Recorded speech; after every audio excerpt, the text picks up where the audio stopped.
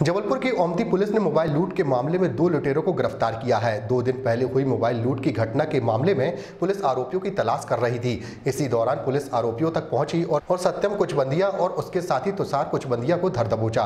थाना प्रभारी ओमती एसपी बघेल के मुताबिक दो दिन पहले रसल चौक इलाके में रविकांत जैन नामक एक युवक का मोबाइल छीन बाइक सवार दो युवक फरार हो गए थे। इस मामले में लूट का प्रकरण दर्ज किया गया था। पुलिस ने आरोपी की पतासाजी कर उन्हें गिरफ़्तार कर लिया है और लूटा हुआ मोबाइल व घटना में उपयोग में लाई गई, बाइक जब्त की गई है। दिनांक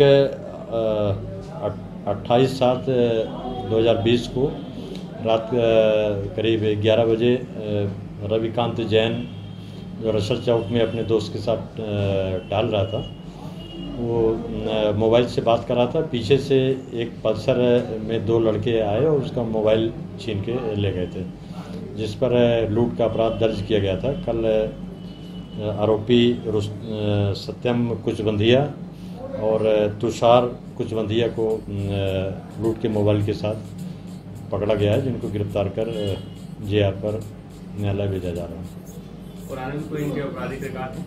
सत्यम कुचबंधिया के कुछ रिकॉर्ड है मारपीट और अवैध शराब का।